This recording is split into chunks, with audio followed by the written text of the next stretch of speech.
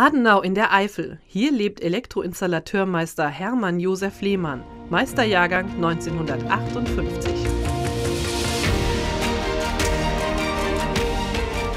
Lehmann, sein Familienbetrieb und der Nürburgring, das ist eine lange und besondere Beziehung.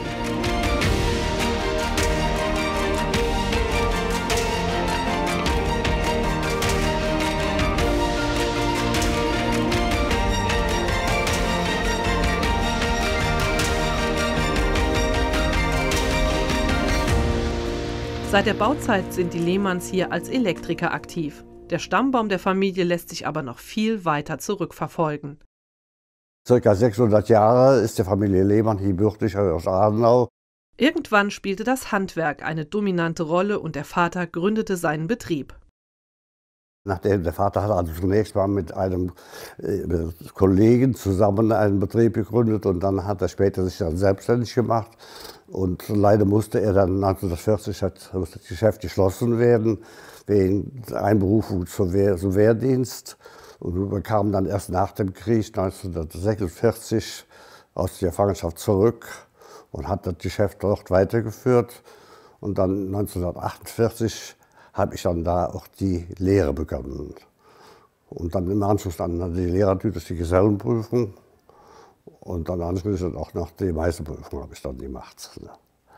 Wir hatten damals noch keine richtigen Fachbücher, sondern da musste alles, der Lehrer musste uns das beibringen.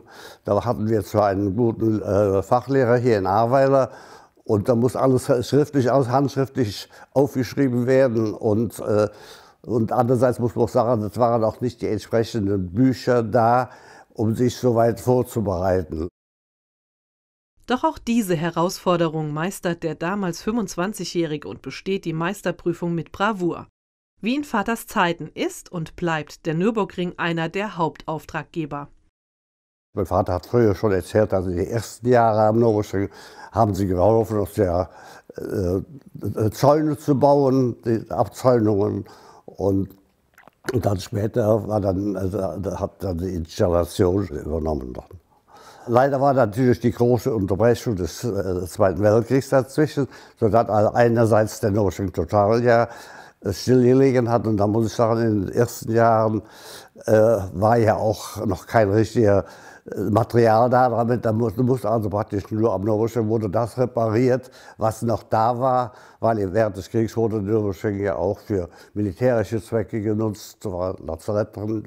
Und äh, dann später wurde natürlich war sehr viel aufzuarbeiten und musste renoviert werden. Und vor allen Dingen, wenn man bedenkt, die Gastronomie und auch die Hotelzimmer mussten alle etwas auf den neuesten Stand gebracht werden.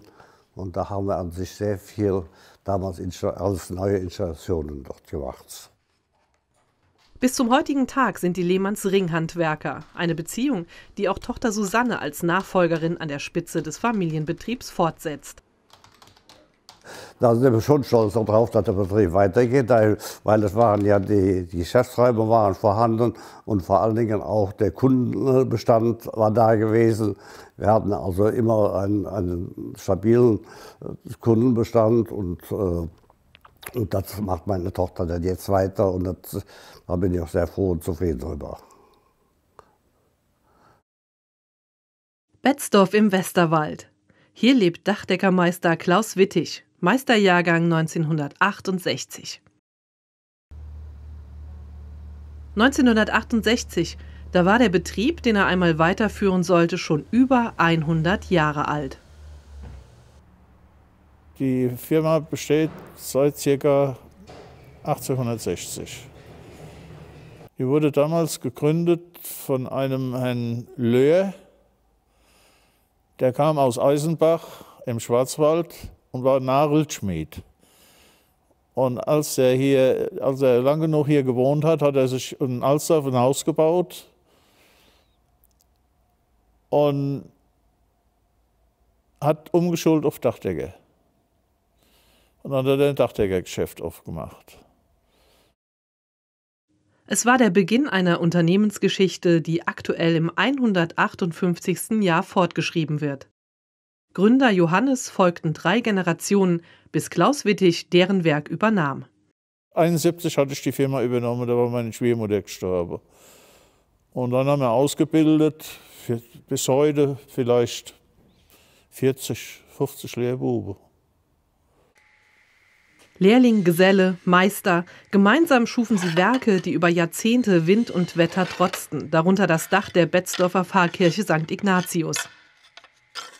Bei jüngsten Erneuerungsarbeiten tauchte ein Schriftstück auf, das die Vorfahren von Klaus Wittig bei ihren Eindeckarbeiten 1951 unter dem Wetterhahn deponierten. Es erzählt die Geschichte jener Zeit wie auch die des Unternehmens. Klaus Wittig ist so auch Chronist und sein Archiv beherbergt einige alte Schätze, so eine Rechnung aus dem Jahr 1889. Und auch die Meisterbriefe der Inhaber sind dabei. Überhaupt, das Thema Meister liegt ihm sehr am Herzen und der 76-Jährige ist überzeugt, dass sein Meisterweg der richtige war. Ich würde genauso wieder handeln. Ich würde genauso wieder handeln. Ohne Meisterprüfung brauchen sich gar nicht in Betrieb zu wagen, um den zu leiden. Ne? Ja, mein Sohn macht das ja weiter. Ne? Und der ist genauso gut wie ich. Ah, die, der war natürlich auch zwei Semester in Main. Ne? Das hat man direkt gemerkt. Das Wissen ist umfassender gewesen. Natürlich liegen da 20, 20 Jahre dazwischen, ne? aber das Wissen wird umfassender. Also ich kann nur jedem empfehlen, der einen Dachdeckerbetrieb aufmachen will, soll sich Zeit nehmen und soll nach Main gehen und soll Meisterprüfung machen.